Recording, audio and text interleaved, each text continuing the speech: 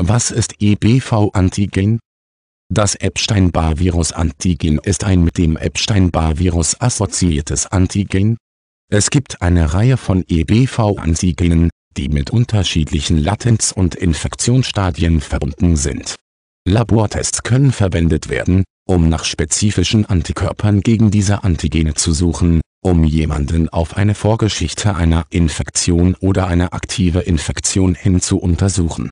Diese Tests sind empfindlicher als Schnelltests, ZB-Mononukleose-Screenings, die in der Arztpraxis verwendet werden, und können angefordert werden, wenn ein Arzt wissen möchte, ob ein Patient eine Vorgeschichte der Krankheit hat oder wenn ein Arzt glaubt, dass ein Patient ein Epstein-Barr-Virus hat obwohl ein grundlegender Monochem negativ war.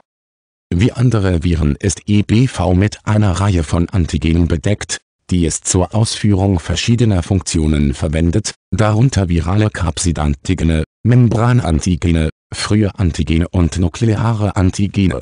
Es gibt eine Reihe verschiedener Arten von EBV-Antigenen.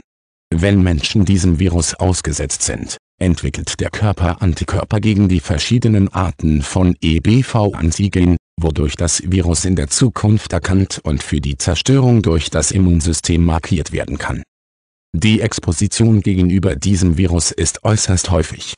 Viele Menschen bekommen es in jungen Jahren und können nicht diagnostiziert werden, da der Verlauf einer Infektion wie eine routinemäßige Kinderkrankheit erscheinen kann und sich von selbst löst. Einige Menschen sind im Teenageralter infiziert und entwickeln Mononukleose.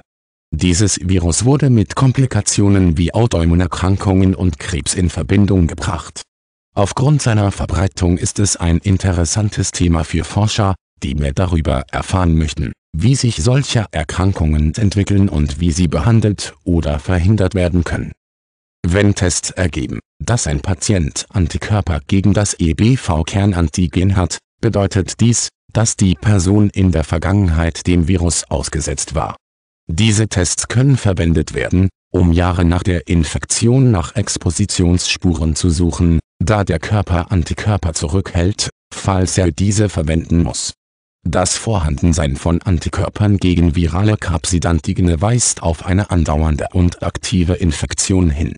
Der Anstieg der Antikörper gegen das frühe EBV-Antigen ist ein Anzeichen für ein Wiederauftreten des EBV bei einem Patienten mit Infektionen in der Vorgeschichte diese Tests zur Suche nach Antikörpern gegen verschiedene Arten von EBV-Antigenen können mit einem diagnostischen Screening kombiniert werden, um nach Veränderungen der weißen Blutkörperchen und anderen Anzeichen einer Infektion zu suchen.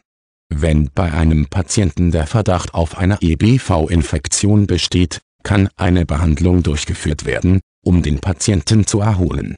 Eine Infektionsgeschichte kann auch wichtig sein, um die Ursachen eines medizinischen Problems zu untersuchen